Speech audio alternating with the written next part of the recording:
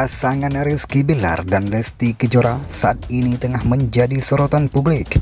Berawal dari pertemuan di acara yang dipandu oleh Tukul Arwana Rizky Bilar memantapkan hati untuk menjadikan Lesti Kejora sebagai calon istri. Tak main-main, tanggal 13 Juni 2021 yang lalu Rizky Bilar secara resmi melamar Lesti Kejora di Bandung, Jawa Barat namun, Lesti Kejora dan Rizky Bilar saat ini harus berlapang dada. Pasalnya, pernikahan yang telah direncanakan akan dilaksanakan pada tanggal 23 Juli 2021 lalu terpaksa harus ditunda karena imbas dari penerapan kebijakan PPKM darurat. Hingga kini, ternyata masih banyak yang mempertanyakan mengapa Rizky Bilar bisa memilih Lesti sebagai calon istrinya. Salah satunya orang yang penasaran akan hal tersebut adalah Vena Melinda. Ibunda dari Bramasta itu tidak habis pikir mengapa seorang Rizky Bilar mau menjadikan Lesti Kejora sebagai calon istrinya. Karena jika dilihat dari segi apa pun, Rizky Bilar dan Lesti memiliki perbedaan yang cukup kontras.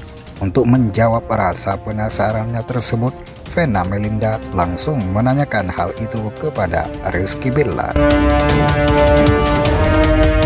Maaf ya Billar, kalau cowok-cowok nih ngelihat apalagi di dunia entertainment, seksi ya kan? Terus yang gimana? Ini kan kayaknya beda banget gitu, packingnya, terus inonsennya, kata Vena Melinda. Mendengar apa yang dikatakan oleh Vena, Rizky Bilar kemudian menjelaskan mengapa dirinya memilih Lesti Kejora. Padahal banyak yang menilai jika Lesti Kejora memiliki banyak perbedaan dengan Rizky Bilar. Tergantung dulu apa yang Bilar cari.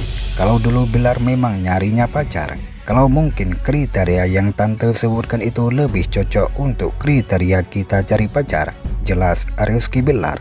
Bilar kemudian memaparkan bahwa dirinya mencari calon istri yang bisa nurut, pengertian, dan tentunya saja melengkapi kehidupannya.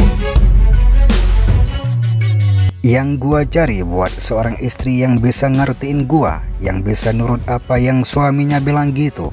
Apa yang menurut Bilar baik, dia bisa nurut. Terus bisa ngelengkapin apa yang kurang dalam diri Bilar. Beber Rizky Bilar. Begitulah informasinya. Terima kasih.